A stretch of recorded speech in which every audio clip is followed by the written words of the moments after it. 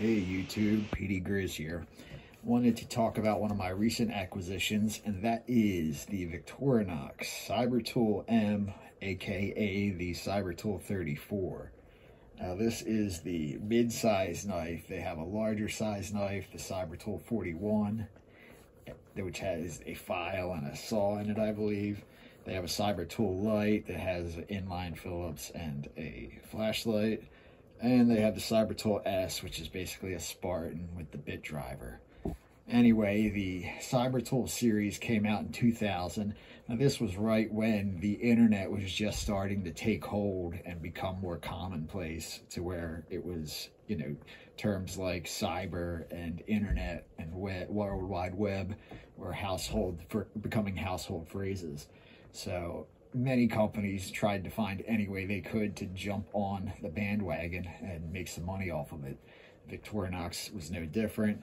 So they came up with a cyber tool, but which isn't particularly specialized for computers, although it does. Some of the Torx bits were specifically included because they fit, uh, you know, PC cases and uh, uh, screws to hold down printing uh, PC boards and stuff.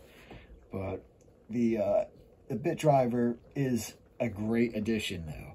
So even though it's not, you know, the Cybertool name is kind of like a lot of their names are just like, like what about putting the scissors on a Spartan turns it into a climber, like makes it useful for a mountain climber or, you, you know, the names are just, they're just marketing gimmicks.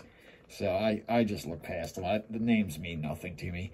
Um, so what we have on here are the ruby red scales. They were standard. You could find them in other colors and with uh, advertising on them. You know, if, if there was a company that would, wanted to give them out to employees or something like that, you will occasionally see these with like computer companies or tech companies advertising on them. Has the basic opening layer of a bottle opener and screwdriver combination with the, the wire stripping groove.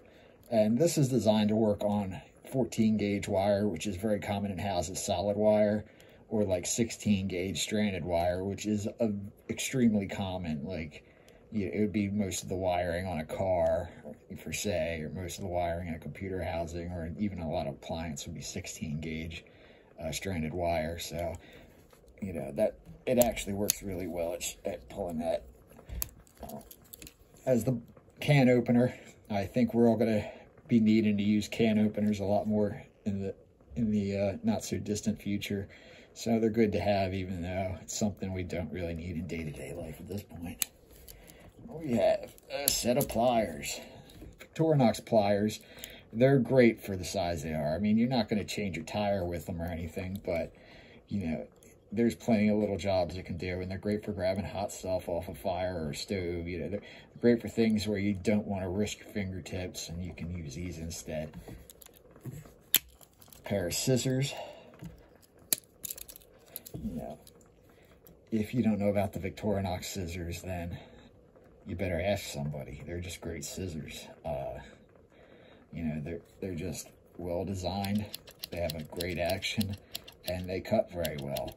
Know, their only weakness is that the springs do are able to get damaged and get out of alignment and, and stuff. But if you take care of them, you know, generally they'll be fine. I have a small pen blade, if I can get it out. Just like any other Victorinox, a small pen blade. Ooh, ah, yes. Look at the penness. Large spear blade.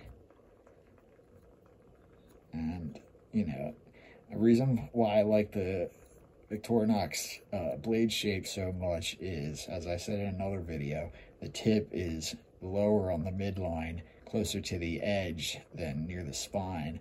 And if by doing that, it tends to make it so that you're less likely to use it in a piercing motion that might cause this to fold up and cut your fingers when the tip's farther back, the angle you're going to tend to use the knife at will tend to push it closed. So that's those types of blades are better left on uh, locking knives. And we have the corkscrew because, you know, computers and cyber police and stuff, they need corkscrew. Well, you know, what the corkscrew's for is carrying the micro screwdriver, which you will use, use doing a lot of computer work. These are great for operating the little tiny micro switches, uh, resetting little tiny circuit breakers, and of course, you know, driving little tiny screws. So no, that is just a no-brainer why you include that with the cyber tool. If I can get it back in on camera. It does have a pin in here, and it does need to be cleaned. Funny how that appears on camera so much more than before it's on camera. But you have your little stainless steel pin. And now here's where I see everybody always screw up on camera trying to put this damn pin back. Oh, I think I got it. Yeah, I got it pretty quick. I've seen a lot of people give up on that one. Scale tools. We got the infamous toothpick, you know, to pick the Doritos out of your, uh, I'm not gonna even going to mention stained keyboard. So, or even out of your teeth if you want. A little ballpoint pen so you can uh, sign for your next box containing your next knife. and the tweezers because why not? And these would make sense in a technical standpoint. These might be nice for uh, manipulating a very tiny part that's hard to hold with your fingers. So that's actually a great thing to have when working on computers. And uh, there are many different types of tweezers specialized and designed especially for working on electronic components. We have the hook. Everyone loves the hook. You know, you either, you know, you either don't mind the hook or you hate the hook. It seems to be the consensus. I mean, I like the hook. I if you don't like it, just don't you pay any attention to it. You, it's not even a issue. It's not like it's on the main side or like you see it all the time. But some people really despise the hook, and I just think that's hilarious. Ah, those bangs are always so loud in the video. And the reamer, because it's just always there and the pièce de la résistance. So I can just butcher some French or whatever, is the bit driver. And it's a four millimeter drive. A standard bit driver is quarter inch, or I believe just slightly over six millimeters. But this is a four millimeter drive. You can buy these bits from a few companies online, like Wiha makes a bit set for it, and those are that's like high quality stuff. But uh, the basic bit is a number two Phillips. It's kind of a little smaller number two Phillips, but the way the tip is designed, it fits a number two Phillips standard screw uh, very well. Say, uh, this little in-between size flathead I mean, it's the largest one in here. I mean, if we needed a larger one, you have the uh, bottle opener. Has this little um, carrier for the other three bits. So you have eight total bits, you know, four bits that have two ends on each. This has another Phillips.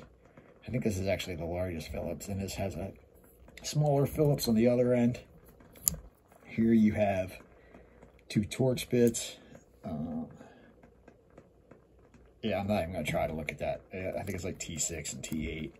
And I think you have a T2 and T and a T2 and a four millimeter hex drive on here, which is, I don't know if, if that's particularly, that might be particularly common in some computer parts. I don't know why they would include it, because otherwise it just seems like a wasted spot. Like, why would you only need a, how often do you need a four millimeter uh, thing?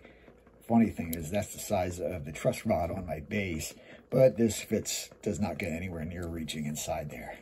So this bit driver is, you know, it's the best screwdriver option that Victorinox has come up with.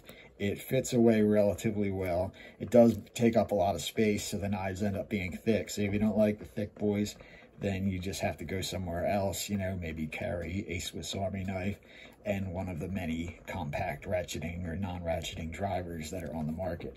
But as far as including a screwdriver and a knife, altogether, you end up with the equivalence of basically what a four-inch, you know, Craftsman or Snap-on screwdriver would be, you know, from here to here, the, considering the handle not being as long, but essentially the, the overall length is about as effective as that. So that's, you know, basically your standard size screwdriver. So you don't feel like you're losing out here. You've got the reach of a standard screwdriver, but you've got it in a compact pocket-friendly package. And uh, I think it's a neat knife. I bought this one because I had a Cyber 29, which is like just a Spartan with this bit driver, but it disappeared. I'm pretty sure it fell in the trash can under my desk and then got thrown out. So that sucks. So I finally found this. The price of these went up like ridiculously too. They, they've, I, I don't, they've gone up like 30, 40%. It's insane.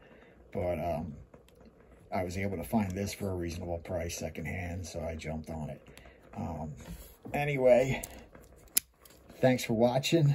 Uh, I appreciate everybody that's subscribed and been supporting me. It's been really cool to uh, talk to everybody and meet everyone.